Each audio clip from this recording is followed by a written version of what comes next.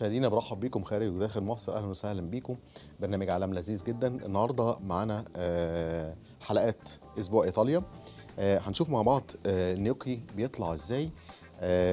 طبعا إيطاليا مليانة معجونات كتيرة جدا ومليانة آه، الشغل الجميل المعجونات الإيطالية وال- والبيتزا والحاجات ديت. عملنا البيتزا مع بعض. والنهاردة هنعمل مع بعض النيوكي. هنشوف النيوكي هنعمله إزاي مع بعض برضو آه، في قلب العجينة. كل اللي أنا حضرته هنا حلة مية آه، سخنة بتغلي لل- للنيوكي. وعندي هنا حلة تانية برضو للكونكاسيه هنعمل فيها كونكاسيه. النيوكي هنطلعه مع بعض بطماطم كونكاسيه وهنطلع معاه آه، بعد كده آه، شوربة مونستروني هنشوفها برضو بطريقة ال- ال- الطلاينة بيعملوها بطريقة جميلة جدا فيها أنواع خضار كتيرة قوي. هنشوفها بتتعمل إزاي مع بعض. آه، ده بالنسبة للحلقه الإيطالية. أنا عندي هنا العجانة. النيوكي هي كالاتي جبت بطاطس سلقتها. ودي طبعا المقادير بتاعتها. أنا عندي هنا آه، بطاطس مسلوقة ومهروسة آه، كويس جدا. وعندي هنا بيض البيض على حسب حجم البيضة أو بيضة أو بيضتين. وعندي توم وعندي آه، جبنة بارميزان. عندي جبنة هنا برضو بارميزان ناعمة كويس. وده مقادير ال- الصوص اللي عندي. توم آه، طماطم كونكاسيه أو طماطم اللي هي آه، فريش ومقشرة. عندي زعتر وعندي دقيق. آه، اللي أنا حضرته هنا هاخد البطاطس اللي أنا سلقتها. وهروح منزلها كده في قلب ال- المكنة. البطاطس بتكون آه، باردة طبعا. يعني مش باردة فتره علشان تتأقلم آه، أو تتكانس مع الدقيق والبيض اللي عندنا. ده كده بالنسبة للبطاطس هدور الكلام دوت. عندي هنا شوية من الملح.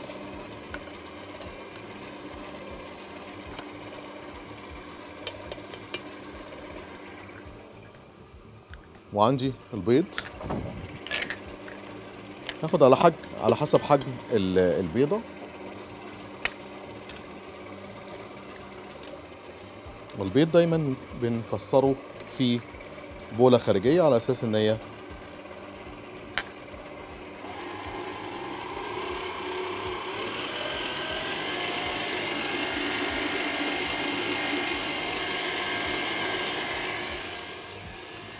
وعندي هنا الدقيق برضو.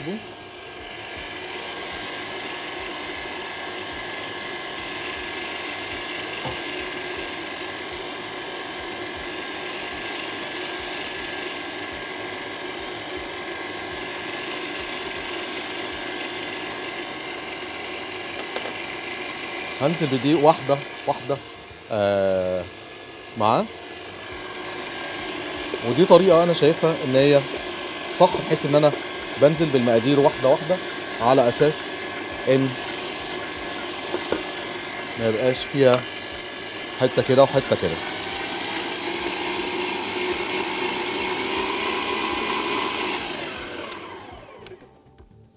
طبعا عشان الكمية عندنا صغيرة مش كبيرة هاخد أنزل كده وأحاول أجمع كل الحاجات دي كده في النص.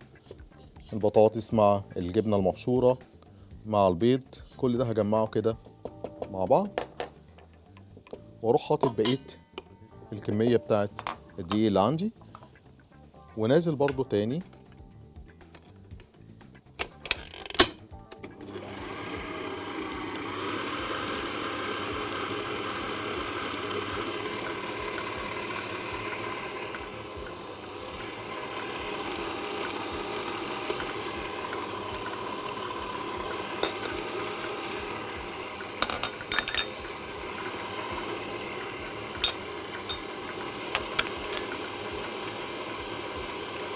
واكسر البيضة التانية برضو. وأحطها كده. خلاص ده كل الحاجات دي أنا مش عايزها.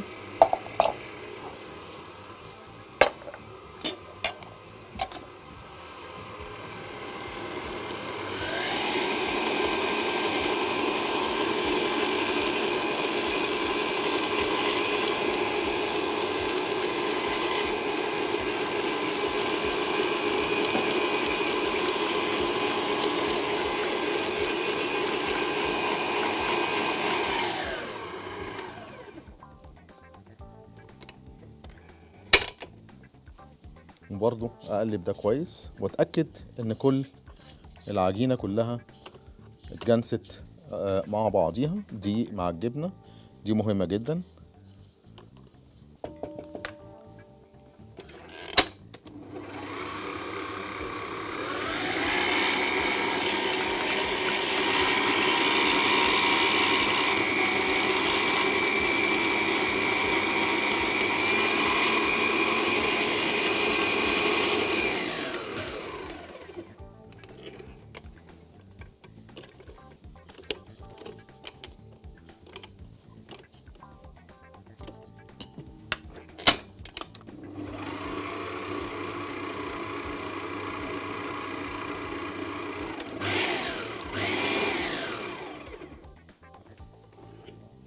وكده أصبحت العجينة عندي.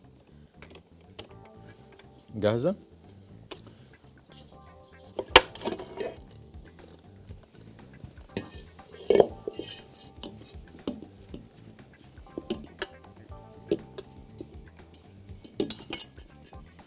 هاخد العجينة بالشكل ده.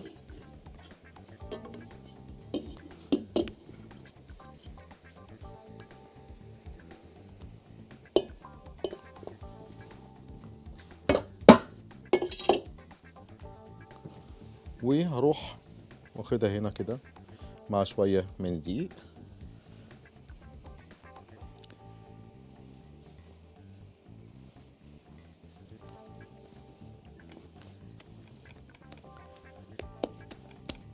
كده العجينة عندي تمام. هبص على المية هنا. أديها شوية من الملح.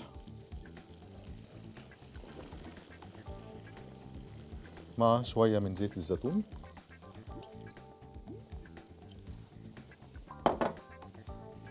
كويس. وهاخد بعد كده العجينة هاخد منها مثلا حتة كده. وابتدي إن أنا أفردها عندي. اللي عايز على فكرة ما ما يفردهاش كده أو ما عندوش مثلا آه الإمكانية إن هو آه يفرد الكلام ده بالإيد. فممكن يفرده بالكيس بتاع الحلواني. لو حط العجينة دي فيه وكبس الكلام دوت ممكن آه نعمله برضو بكيس الحلواني. زيه زي الكروكيت مثلا. أنا هاخد ده كده.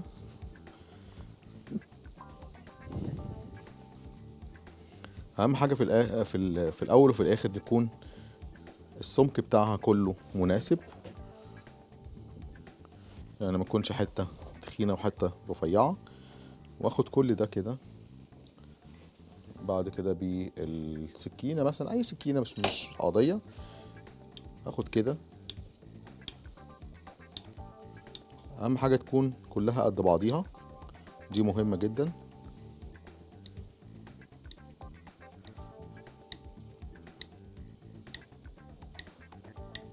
بالشكل ده.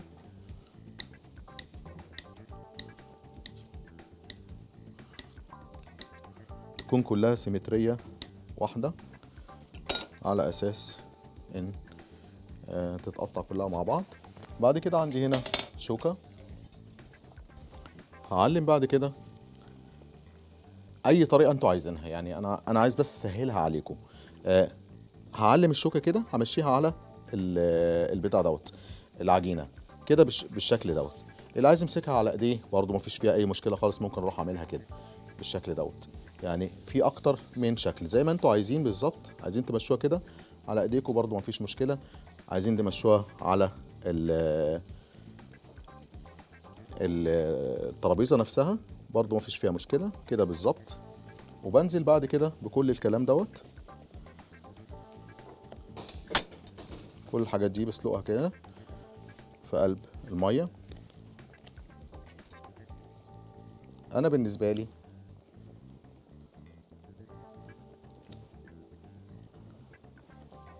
ممكن نعملها بقى بعد كده في طريقة تانية إن إحنا نحطهم كده جنب بعض بعد ما تقطعوا. وأروح جاي عامل واخد خط كده على كل واحدة. دي طريقة برضو أسرع وأسرع. يعني في أكتر من طريقة.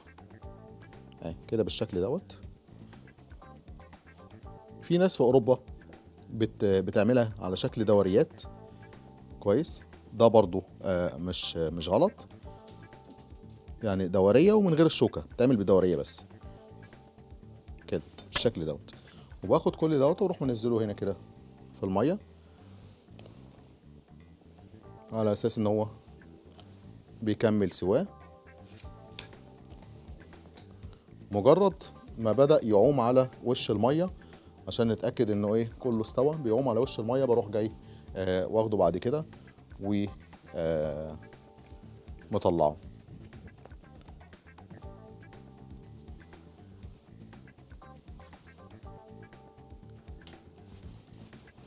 هفرد كده.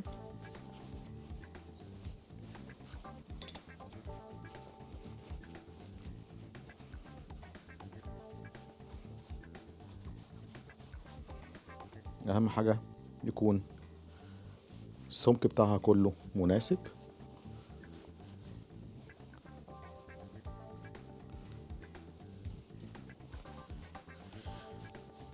كده بالشكل ده. وبرضه ابتدي إن أنا أقطع كده.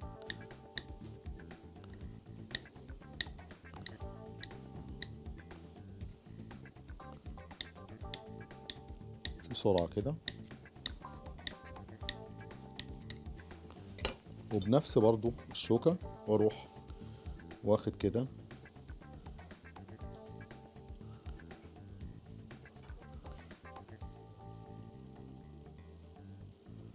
العجينة دي مفروض إن هي أنا بعمل شغلي على طول بس دي مفروض إن هي تستريح كمان في التلاجة.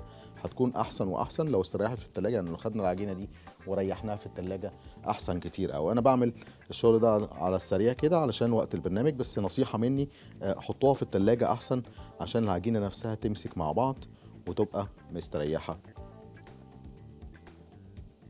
ده بالنسبة للنيوكي. كده. هجيب طبق واخد فيه.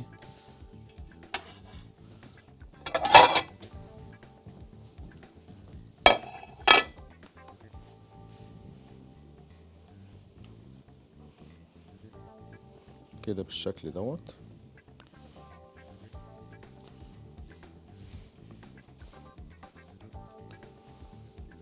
طبعا العجينة عندي آه، مش مستحملة خالص على أساس إن دي المفروض إن هي تتعمل. ده كل دوت كده أصبح إن هو استوى.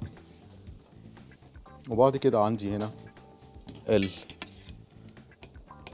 المغرفة ديت. هطلع الكلام ده كله في طبق. أول ما بيعوم على الوش على طول بيبقى آه، استوى. بعد كده عندي هنا الباقي دوت. زي ما قلنا قبل كده نصيحة مني آه، لازم تتحط في ال- التلاجة حوالي نص ساعة مش أكتر يعني. يعني بحيث إن العجينة نفسها تتقل شوية تمسك. أنا معايا العجينة آه، شبه آه، طرية وده اللي, اللي بس أنا بعملها عشان وقت ال- البرنامج فبعملها بسرعة طبعا. كويس. هحط دول كده هنا وبعد كده ناخد فاصل صغير ونرجع نشوف مع بعض الشوربة بتاعتنا هنعملها إزاي. بس أحط دول في قلب المية عشان يتسلقوا بعد كده هناخد فاصل صغير ونرجع نشوف آه، شوربة المنستروني بتعمل إزاي والطماطم الكونكاسيه اللي هي بتاعت النيوكي. فاصل ونعود.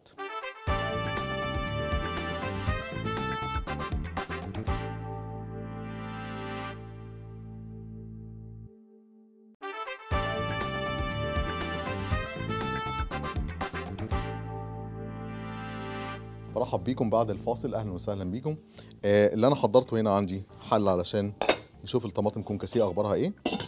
آه سهلة جدا برضه. أنا كنت عملتها في حلقات قبل كده كتير. هاخد شوية من زيت الزيتون مع سن التوم صغنطوطة كده.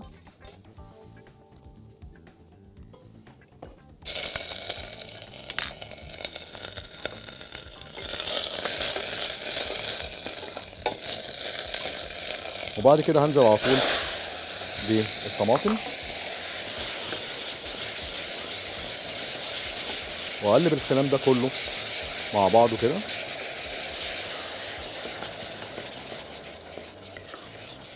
مهم جدا عندي إن شوربة الطماطم آه أو الطماطم الكونكاسيه تقصر.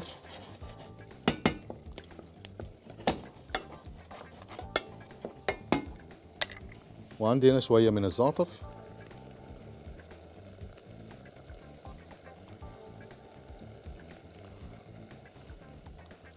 دول هيديني ريحة وطعم جميل قوي في قلب الصوص.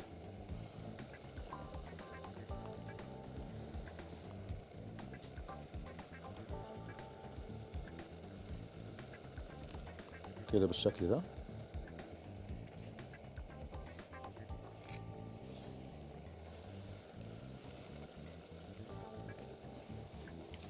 شوية فلفل أسمر.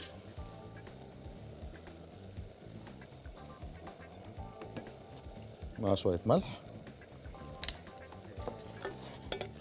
وأقلب ده كده وأسيبه بقى على نار هادية بحيث إن هو يقصر ويتسبك براحته.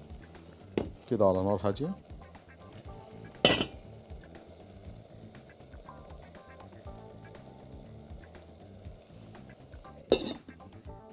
كده بالشكل دوت. وعندي هنا المنستروني. نبتدي نعمل المنستروني عندنا. قبل ما نبدأ في المنستروني أنا عندي هنا النيوكي خلص. هعمل له بس حاجة صغيرة قوي. هديله شوية من زيت الزيتون. كويس. وأحط الكلام ده كله كده عليه. وبرده شوية تاني. وادخل الكلام ده عندي في الفرن بحيث إن هو يفضل سخن. ده مهم جدا عشان يبقى أثناء التقديم طالع عندي. طالع عندي سخن. بعد كده حلة هنا. سخنت هاخد شوية من زيت الزيتون حوالي 3 معالق زيت زيتون وعندي آدي بصلاية.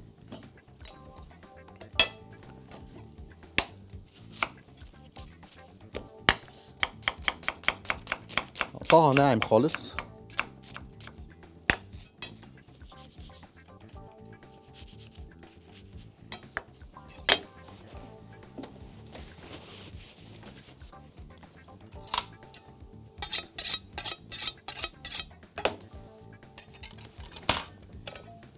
أنا معرفش أشتغل لما تكون السكينة حامية.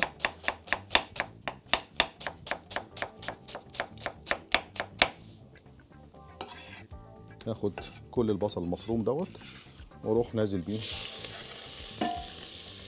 كده.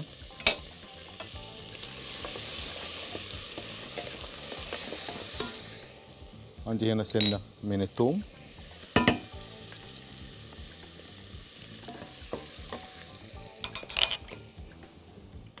شوية الثوم برضو دول.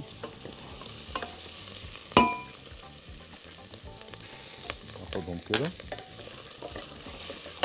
واخد الكلام ده سوتيه كله مع بعضه. عندي دي خلاص. هاخد بعد كده خليها هنا. بعد كده أول حاجة هاخدها الجزر مع الفاصوليا. شوربة جميلة جدا. طلاينة بيعملوها مقاديرها حلوة قوي بتاخد جزر بتاخد فاصوليا آه خضراء بتاخد آه كرنب متقطع.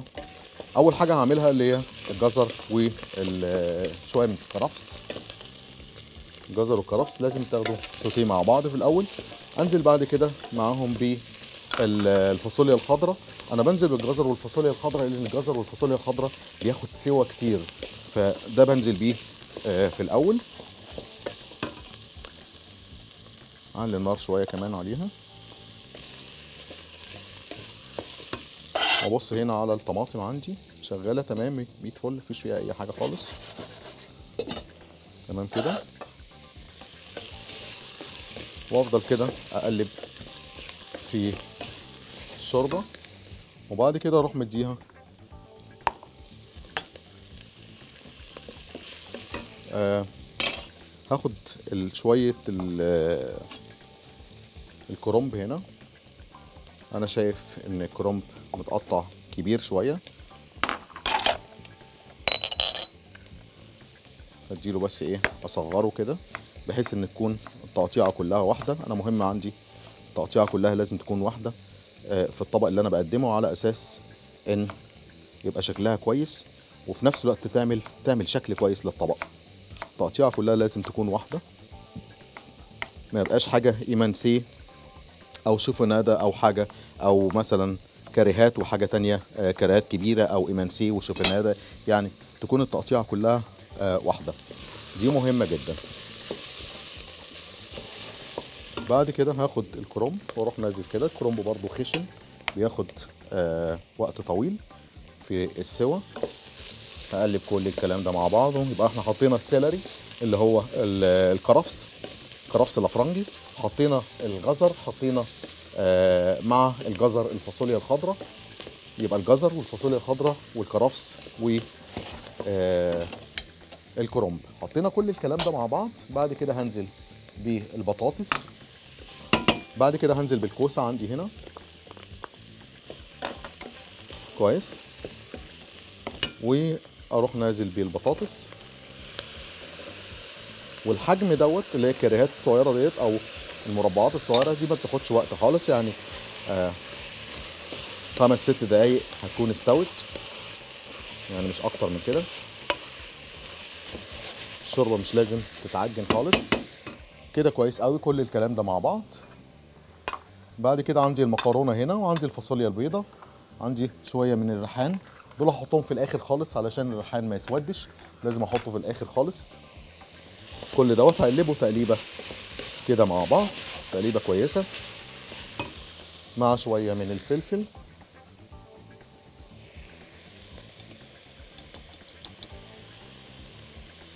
شوية فلفل أسمر. مع شوية ملح. الملح طبعا ما احطش كتير على أساس إن الشوربة آه، اللي عندي فيها آه، ملح. كويس وأقلب الكلام ده كله كده مع بعض.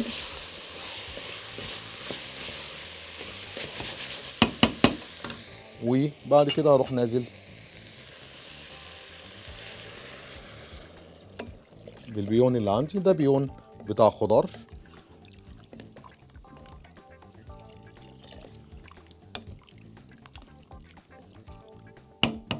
واسيب كل المقادير دي تغلي كلها مع بعض. مهمة جدا إن ده كله يغلي مع بعضه. عندي هنا الطماطم كونكاسيه دي برضو خلصت. هروق المكان بسرعة كده. خلي لي دول على جنب. وعايز دول دلوقتي هنا. بعد كده عندي آه، طبق اللي هحضر فيه النيوكي. كده الطبق ده ظريف قوي. هاخد بس كده إيه الحاجات ديت. والشوربة عندي هنا شغالة تمام.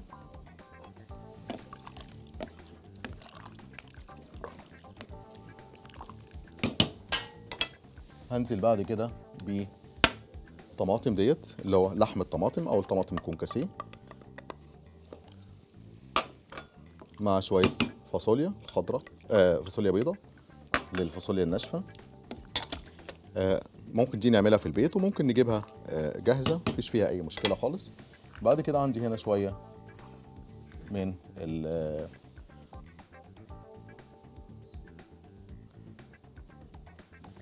بعد كده عندي شوية هنا من الريحان الإيطالي.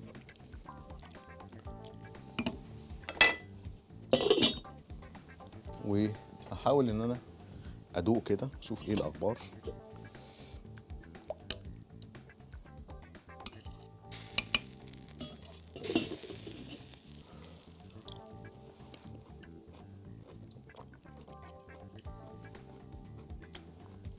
فعلا حلوة. طعمها جميل قوي سيبها هنا لحد كلها. ما تاخد كده من بعض. في الآخر خالص هديها المكرونة طبعا. المكرونة عندي بسويها نص سوا مش مش مش سوا كامل. وبحطها في الآخر خالص المكرونة ما بتاخدش آه، دقيقة أو نص دقيقتين بالكتير قوي لحد ما تستوي. مستوية. ال- الفاصوليا البيضاء اللي إحنا حطيناها طبعا في الشوربة بيكون آه، مستوية ما بتكونش نية. دي بنعملها في البيت أو بنشتري اللي هو العلب الجاهزة دي مفيش فيها أي مشكلة. ده بينفع وده بينفع. هناخد بعد كده النيوكي زي ما حضراتكم شايفين. شكله جميل قوي.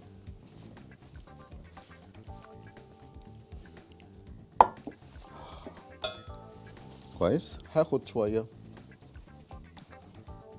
خلينا دي تنفع في الأول بس وأنا بشيل بيها إنما غير كده ما تنفعش. لإن ممكن آه تعجن. هاخد شوية هنا كده في قلب طبق عندي.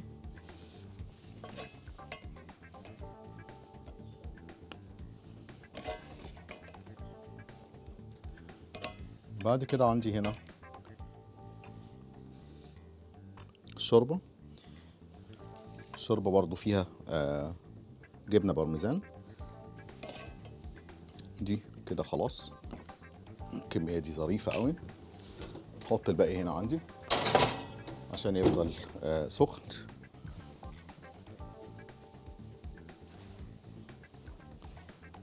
وبعد كده هاخد الصوص عندي.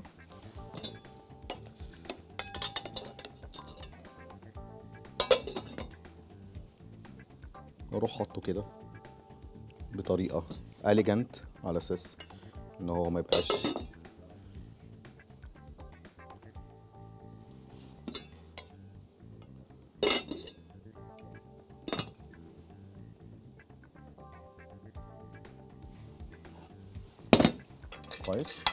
وهاخد شوية ورق من ال- الريحان ورقتين كده صغيرين ظراف كده.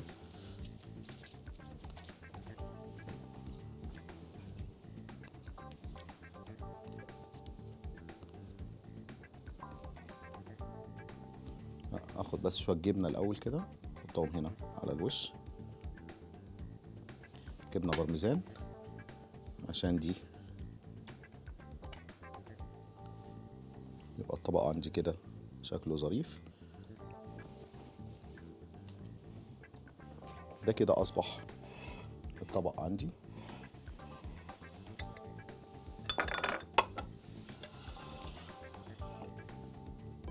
ده بالنسبة للنيوكي بعد كده هجيب البولة بتاعت الشوربة وابتدي إن أنا أغرف الشوربة عندي. هاخد هنا آخر حاجة. المكرونة.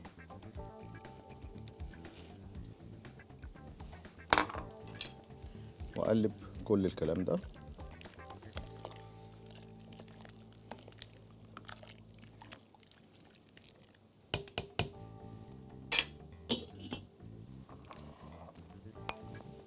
وخلاص دلوقتي الحاجات دي. أنا مش عايزها تاني. هاخد دول بس كده. خليهم جنب بعض.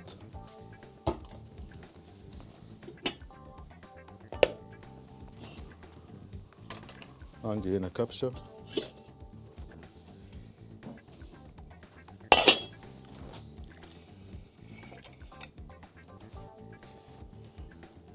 كده بالشكل دوت.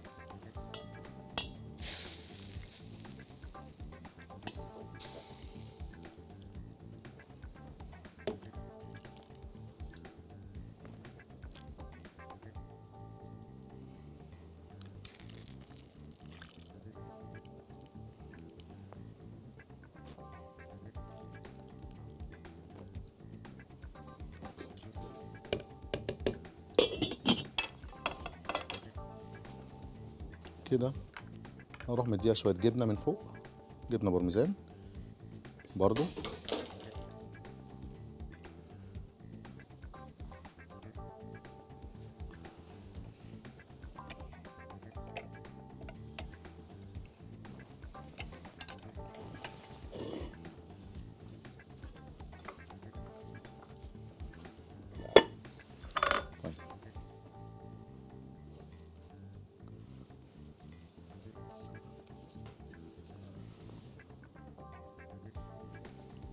كده أصبح الشوربه خلصت.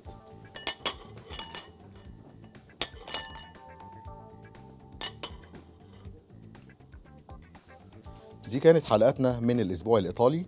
آه، شوربة المنستروني عملناها مع بعض بالطريقة الايطاليه الطريقة الجميلة وعملنا مع بعض النيوكي برضو آه، بنفس ال- ال- النيوكي اللي بيطلع في إيطاليا. حاجة جميلة جدا. جربوا الأكلات دي هتعجبكم إن شاء الله وبالهنا والشفا. شكرا. مع السلامة.